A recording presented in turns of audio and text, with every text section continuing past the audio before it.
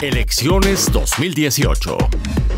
Cobertura especial. A 59 días de las elecciones a nivel federal y local, los candidatos a la jefatura de la Ciudad de México continúan con su trabajo en campaña.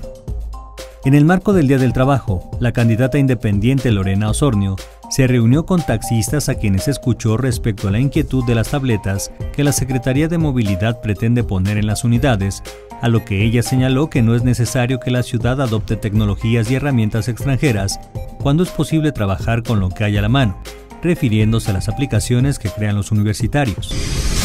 Miquel Arriola, representante del PRI, dio banderazo de salida a los candidatos para diputados, alcaldes y concejales de la capital mexicana en las instalaciones del partido exhortó a los aspirantes a dar su mejor esfuerzo a favor de la ciudadanía. Posteriormente, el exdirector del Instituto Mexicano del Seguro Social recorrió calles de la delegación Venustiano Carranza, donde prometió mejorar los servicios públicos y seguridad de la ciudad.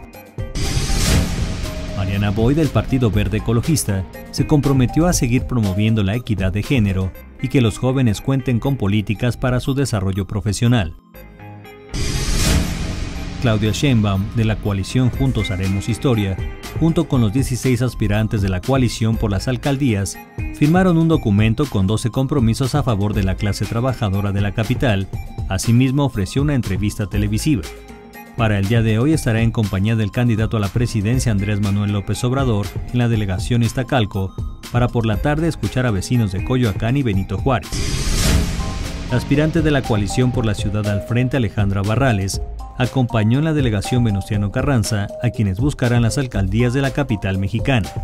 Asimismo, se reunió con integrantes de la Asociación Sindical de Sobrecargos de Aviación de México. Marco Rascón del Partido Humanista y Purificación Carpinteiro de Nueva Alianza no registraron actividades públicas. Notimex.